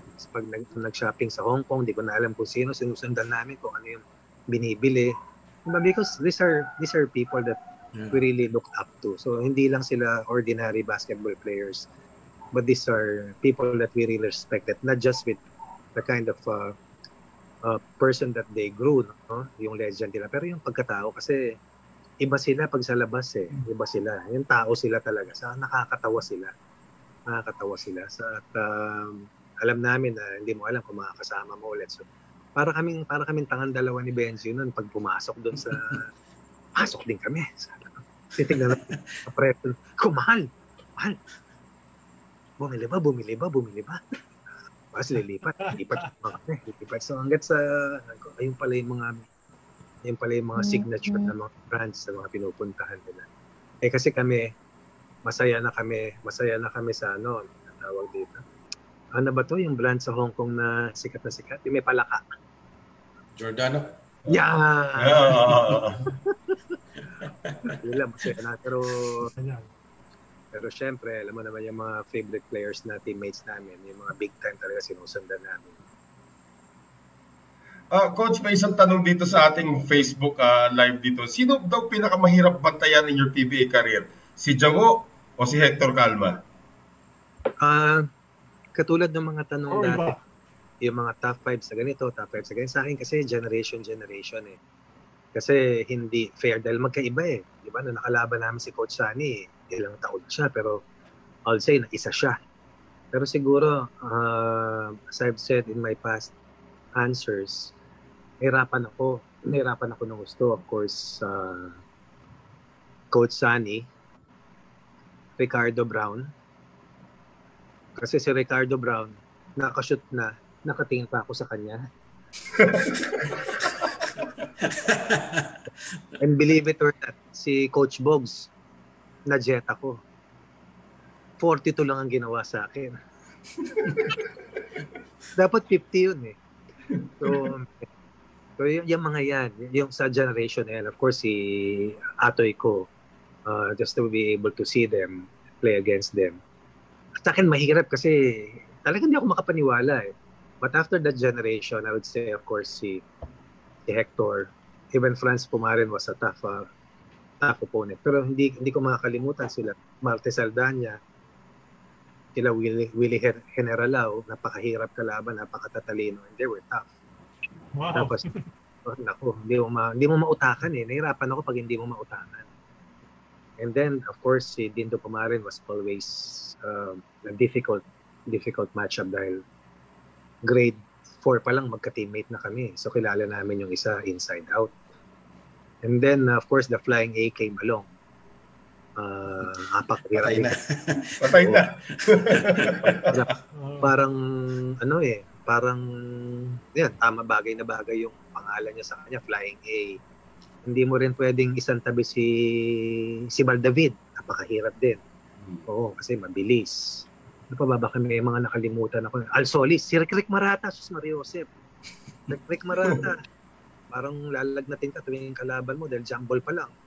Ano na, uh, rumarat-rat na talaga, di ba? So, napakarami, napakarami. Even even sa akin ha, even na yung mga big guards nahirapan ako sila Mike Advani, sila Joey Loizaga kasi malalaki saka Hindi, yung isa mabigat nabibigatan ako sa kanila Coach Rudy Distrito Hmm. nabigat pero tuwan-tuwa ako nakalaro ko si Francis Arnaiz kasi ginagaya ko yung foul shot gusto gusto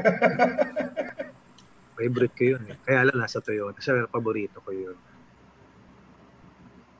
Coach, yung 1992 team nyo, ano, nag-champion din kayo noon, yung second championship mo, uh, open conference yata, with ano, uh, over San Miguel.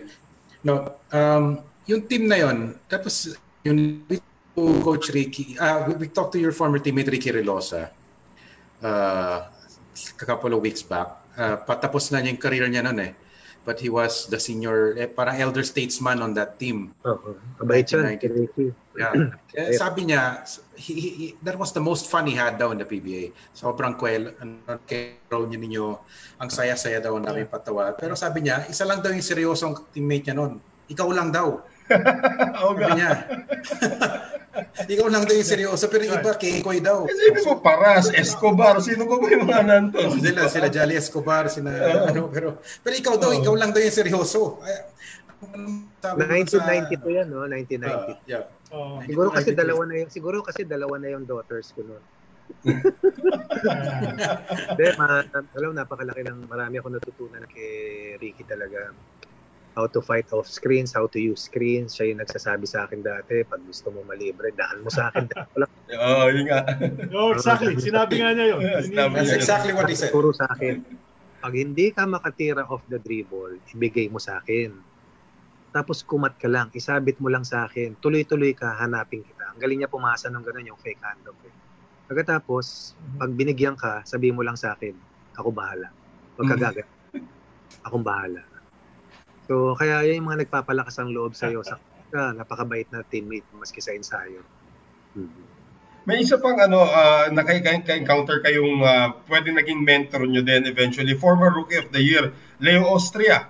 You cross Yes, paths yes. dun sa, sa Shell. So, may, Yes. may, na, may naibigay ba siya sa yung payo when you were starting out? Oh, si si Leo was the best player always in practices. He was always the hard worker. And he was a big influence doon sa work ethics ko pagdating sa ensayo. Hindi uwi yan hanggat hindi tapos yung ganito karaming tira. At uh, normally, he was always among the first uh, few players in practice. So those were things that uh, I was able to learn from them. Kasi uh, they don't have to tell you this. They don't have to say things like that you have to learn from what they're doing and how they're playing. That that was how things were done before. And uh, yun yung mga nakita ko na natuto, natutunan ko dahil si Coach Leo was a very, very big name even in the national team. And I played uh, behind him in my uh, first year. uh, sa Shell. At uh, kita ko yung mga iniensayo niya, nakita ko yung mga tinatrabaho niya. So, yun yung mga you try to you try to emulate because they're veterans because they know how to to win. Uh, at uh, they know how to to be uh, a part of the team, no? Kung hindi ikaw yung main man, they also know, know how to play that role. At uh, which is very important dahil hindi naman pwedeng ikaw parati yung ganito, ikaw parati yung sa ganyan. Uh, may mga panahon na hindi ikaw to, o ikaw yan. At uh, yun yung mga natutunan ko sa kanila. Uh, maganda si Onchi de la, de la Cruz, marami rin ako natutunan kay, kay Onchi. Parang si Ricky rin yan, no? Fierce competitor in the court. No? Pero pagdating sa practice, uh, napakabait, napakabait. Uh, what my question, my I, I've always wanted to ask you this, Coach Ron. Tagal na natin magkakilala, tagal na natin magkasama sa broadcast, pero I never asked you to tell me about Bobby Parks and how special of a human being and as a player, as a teammate, Bobby Parks was with Shell.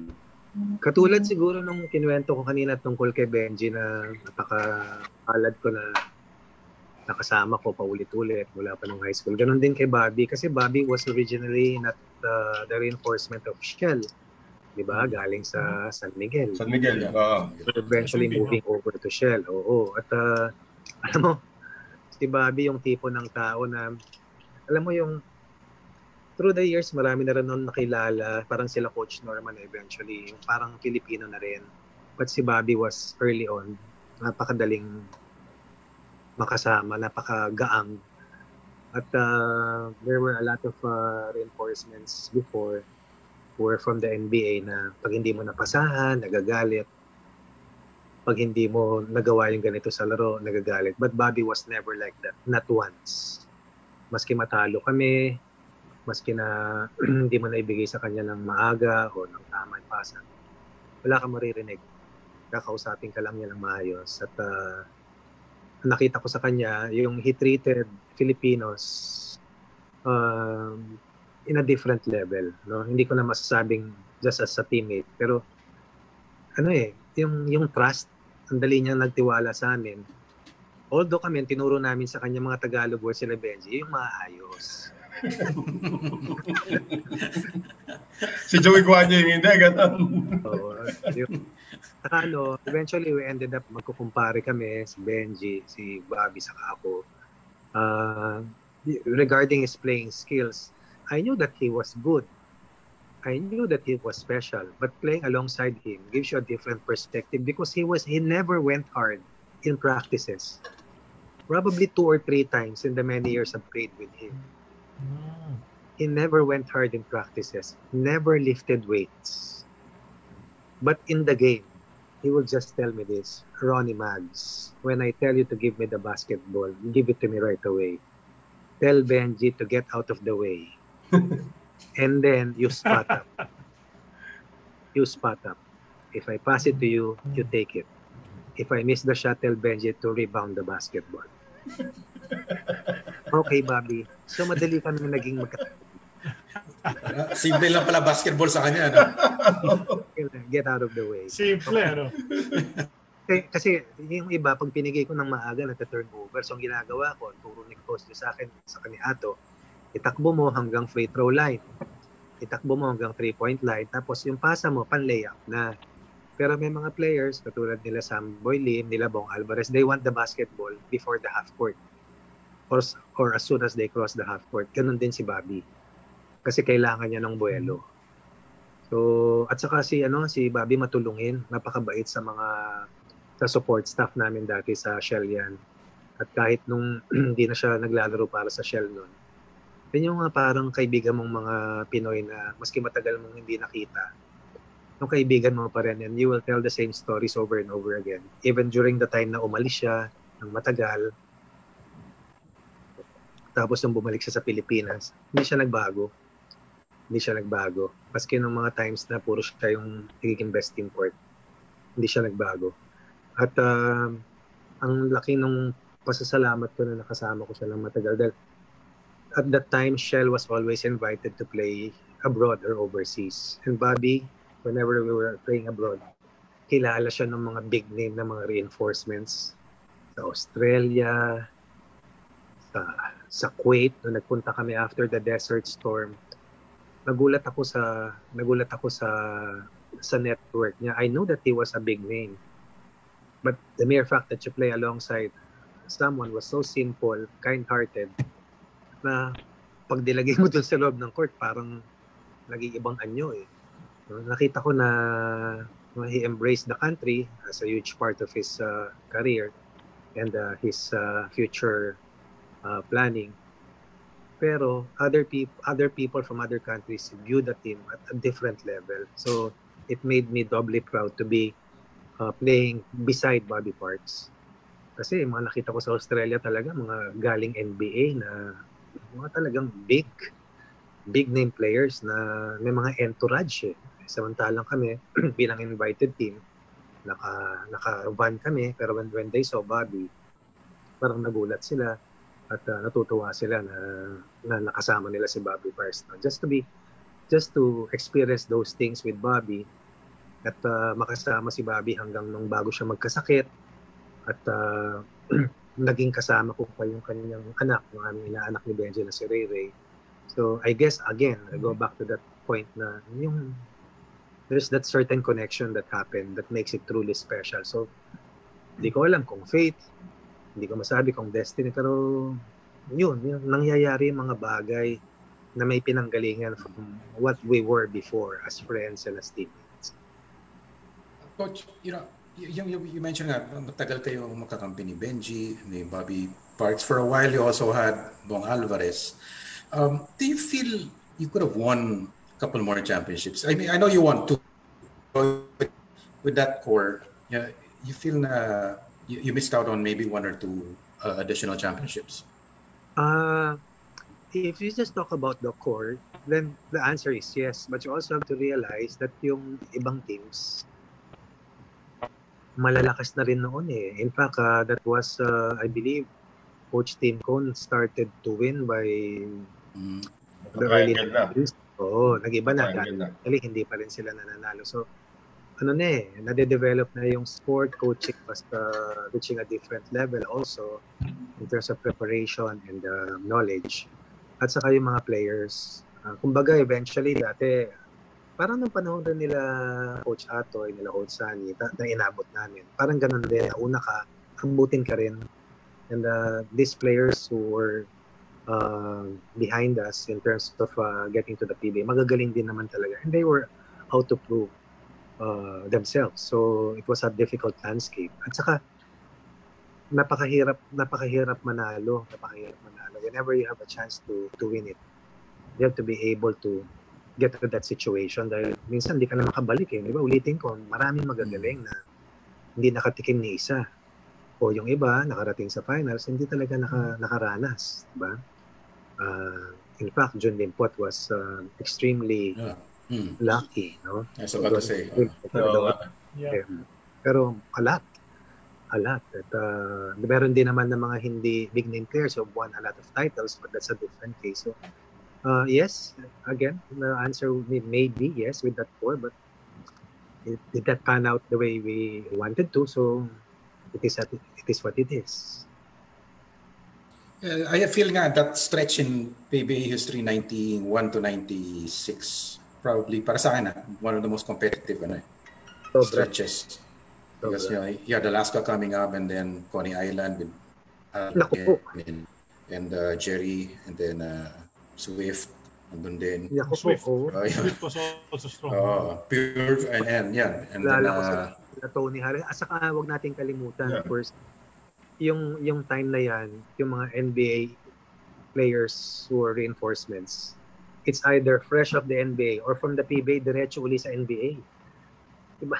Sipin mo yung mga kalaban namin, sila Kenny Travis, sila Lamont Strotter, sila Kevin, Kevin Aption, naging teammate ko, Tony Harris, diba? Ano eh, nabasa mo lang eh. Nabasa mo lang sa NBA Almanac, katati mo na eh. Diba, hawak-hawak ko yung buzzer. Pagtingin, pagtingin ko, pagtingin ko, sabi si Mario Jose, si Briggs. Di ba? Ah. Babantayan mo. Na- Binababa, nilalabas pa lang yung bola, sumisigaw na ako, help! That's Grabe yung firepower nila. gra- grabe talaga. Talaga, sa loob-loob ko lang talaga kung mahina-hina loob ko talagang talagang titiklob ka rin. Dal- tatawanan ka nila eh. Talaga. That's it. Ganun lang eh. That's it, boy. Sino? Si Matthews o si Briggs? Si Briggs. si Briggs.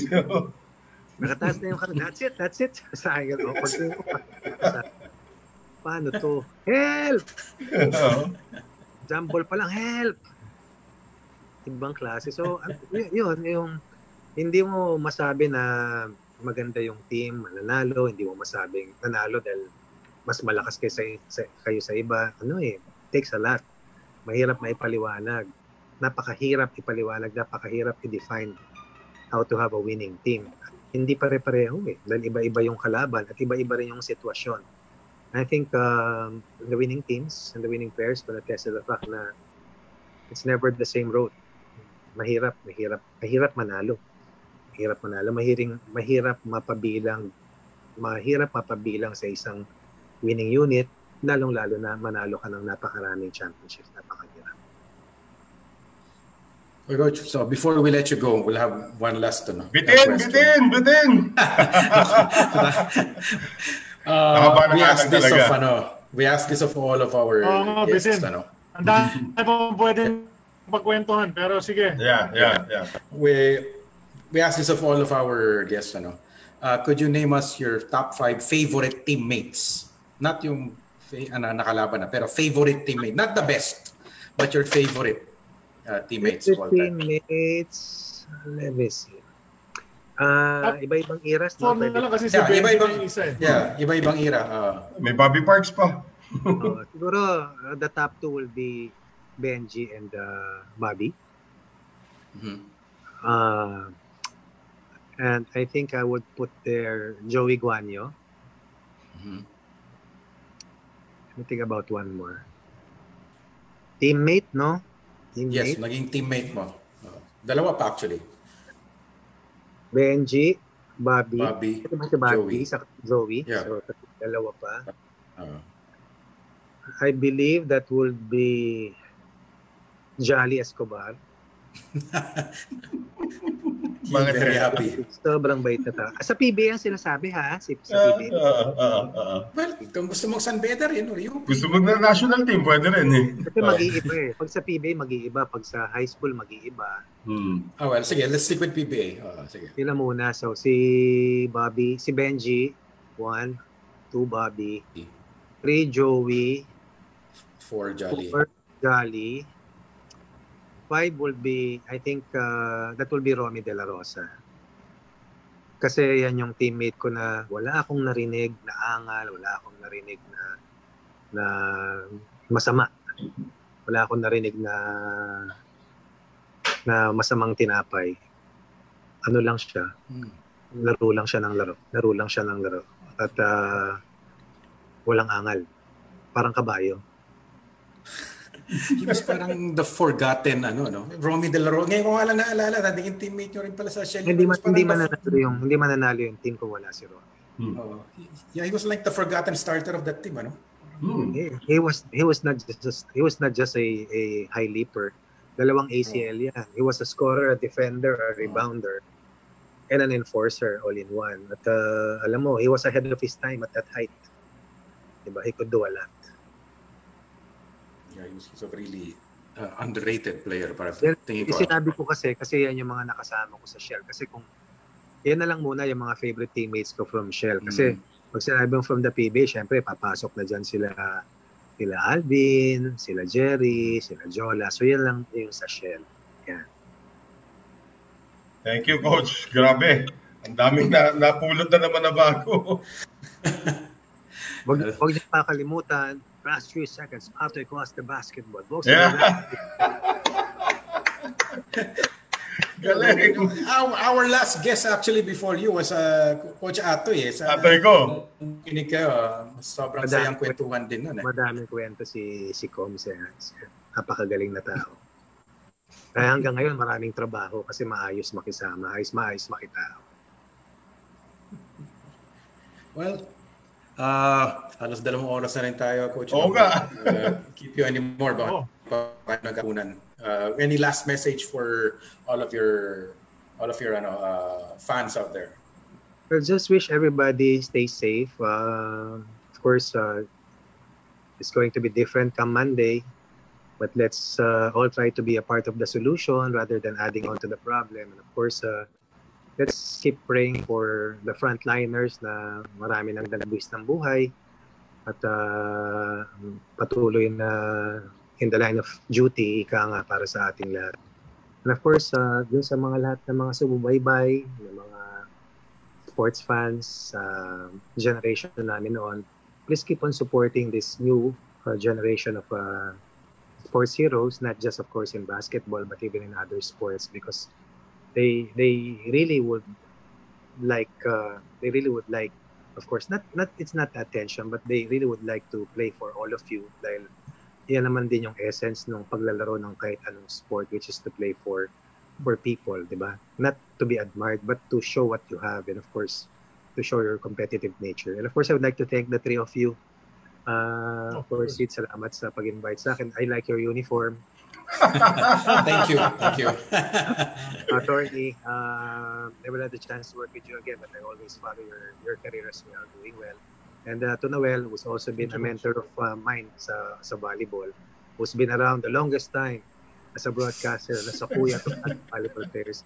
So what you're doing, is, it has inspired, of course, a lot of people. No? Wala tayong sports in the horizon, but you gave us the connections uh, sa mga tao who is in the uh, in a different world. No? So maraming salamat sa inyo, sa oras. At uh, alam ko, pinlansya nyo pa yung mga uniform nyo yan. yes. I hope you will all stay safe and I pray for all of you that uh, the new normal will be a better world for all of us. Thank you. Thank you very much, uh, Coach Ronnie. Uh, Thank you.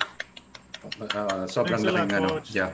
Uh, Thank we really you. appreciated uh, you taking out the time to share your experiences and memories uh, with us and with all of the people Nakain listening. na ako ng empanada.